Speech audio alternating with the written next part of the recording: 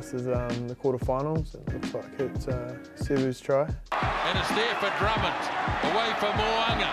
Flying wide to Havili. Reece. Sevu Reece. Still going. Sevu Reece. Oh, what a try that is. Yeah, well, great positioning, and now he wants to link back up with Leicester. He's worked hard to get back. And uh, that's just Leicester doing his thing, huh? Yeah, he's always on it.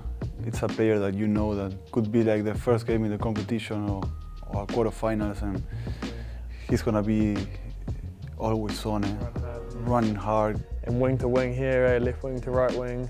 Sevu, um, you know, just as powerful but a different skill set, eh? Like, yeah, side to side footwork, um, just as impressive.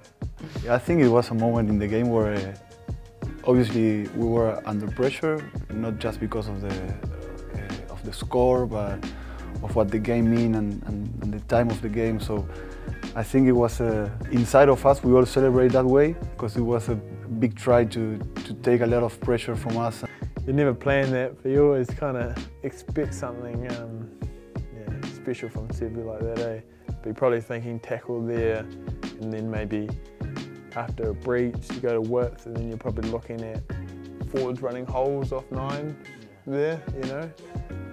So yeah, you kind of gone behind them twice, and they after that first breach they might have they might still have their width set, so it might be on now to go through the middle.